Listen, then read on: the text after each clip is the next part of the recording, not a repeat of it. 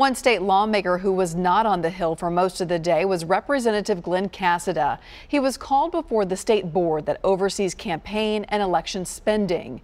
News Channel 5 investigates first raised questions about how the former House Speaker spent tens of thousands of dollars given to his powerful political action committee.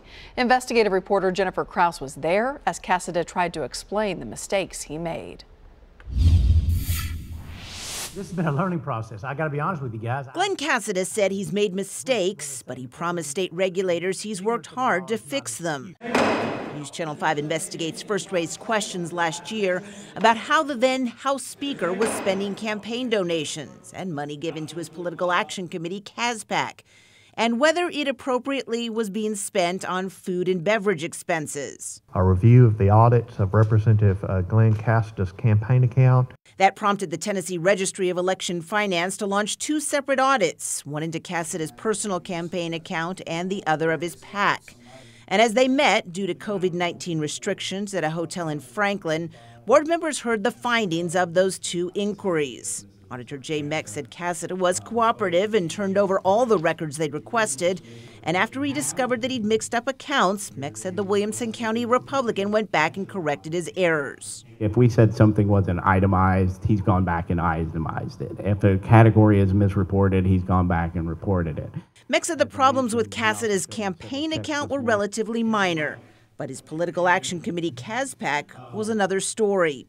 The audit found nearly 300 charges with no receipts or any other documentation, totaling nearly $100,000. What do they say in the courtroom, uh, ignorance of the law is not an excuse.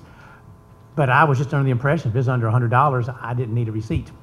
And uh, it has led to a whole, whole, whole host of problems. Most of the money appeared to have been spent on food and hiring campaign workers, but there's no record of who they were campaigning for or what exactly they did. CASPAC also paid a number of consulting groups, which the auditor said he could find very little information about. Board members were clearly troubled by this. The failure to report is uh, an evasion, whether it's intentional or not. It's an evasion of the reporting requirement, of the disclosure requirement, of the the rules that are put in place so that the public knows what's being spent on, on political campaigns. The registry appeared all set to impose a $10,500 fine on Casada when they realized that procedurally they couldn't do that at this meeting.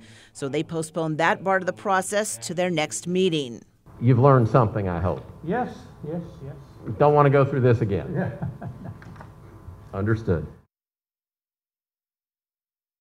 Jennifer Kraus reporting. Now, former lawmaker Jeremy Durham had also been asked to appear before the registry today, but he did not show up.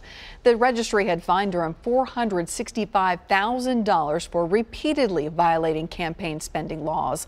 But last year, an administrative law judge slashed that fine to just over $100,000. Today, the registry voted unanimously to reject that ruling, saying the judge overstepped his authority.